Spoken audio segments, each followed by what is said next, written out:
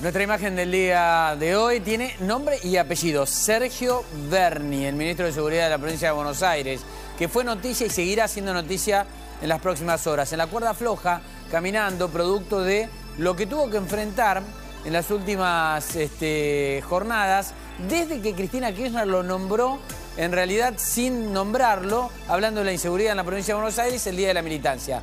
Por primera vez Cristina en todos sus años en la política, en sus dos presidencias y en esta vicepresidencia, habló de la inseguridad. Por primera vez lo hizo en el acto de la militancia y apuntó contra la inseguridad en la provincia de Buenos Aires. El responsable, Sergio Berni, ministro de Seguridad. ¿Sabía Cristina Kirchner que además después, a las pocas horas, iba a aparecer una investigación periodística que lo apuntaba como evasor a Sergio Berni? Y por eso se adelantó. La cuestión es que tiene todos los cañones apuntados y la incógnita es saber qué va a pasar con Sergio Berni.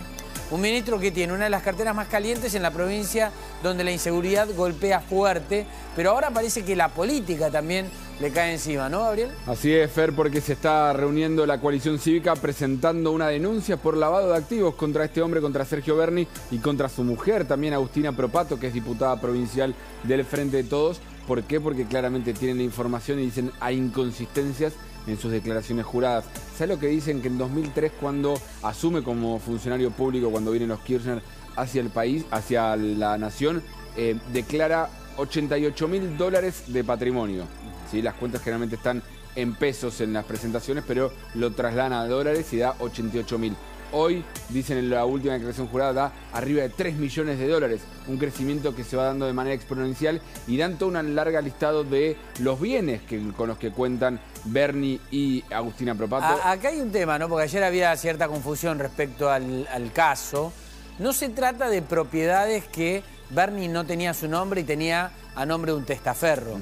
No es el caso, son propiedades que sí están a su nombre, pero que no estaban presentadas en la declaración jurada. ¿Esto es así? Algunas de ellas no estaban presentadas, otras las fueron presentando en la declaración jurada. Algunas dicen hay inconsistencias que aparecen y desaparecen de la declaración jurada sin explicar el porqué. Respecto de un año a otro. Eh, respecto de un año a otro. Que medie algún boleto de compra-venta o alguna venta. Y después vuelven a aparecer y dicen, en total hay 16 propiedades, por ejemplo, en la ciudad de Buenos Aires, que tienen eh, una mansión valuada en un millón de dólares en Bariloche, también tres departamentos en un lote ahí con, frente, con vista al eh, Nahuel Huapi y que no fueron consignados en su última declaración jurada. Algunos de ellos, Bernie lo declaró en declaración jurada, pero recién, ¿sabes cuándo?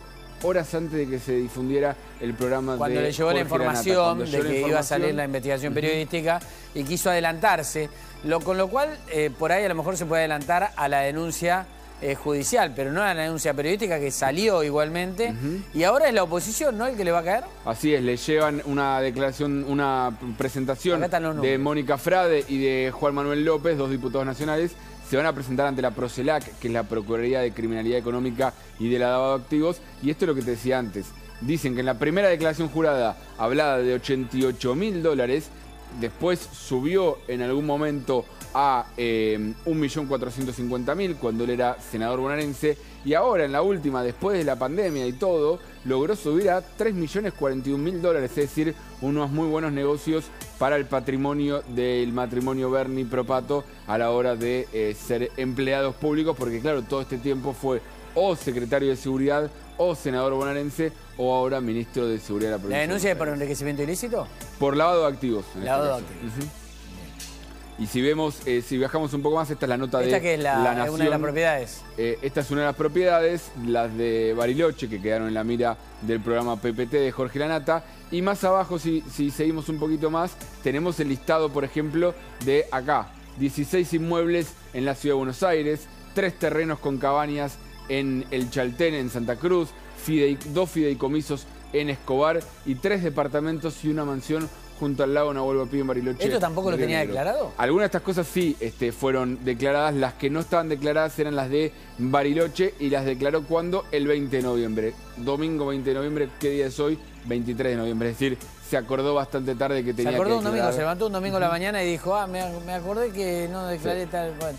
Tomó unos mates y se fue a declararlo. Sí, hubo una discusión ahí entre después entre los abogados de Bernie y eh, los periodistas de PPT porque dicen que en realidad tomaron mal la fecha, pero después los periodistas demostraron y dijeron no, el 20 de noviembre fue cuando se hizo la presentación. Bien, eh, la verdad que la denuncia es fuerte, ¿no? Habrá que ver si puede resistirlo políticamente esto. Bernie, que ya tiene la, la cuestión de la inseguridad, que es su materia de trabajo, y ahora esta cuestión política en la cual va a tener que no solo responder a la justicia, sino internamente en su espacio. Sin duda. En realidad espacio el cual dice que ya no pertenece. Sí, por lo menos ya no es más cristinista, pero se, está torpedeado por todos lados porque los intendentes también están pidiendo... ¿Hoy la única defensa política la tiene de parte de Kicillof, del gobernador? Sí, este, y te diría que sí porque no tiene a otro. Esa es la respuesta, te diría ahora. No hay reemplazante.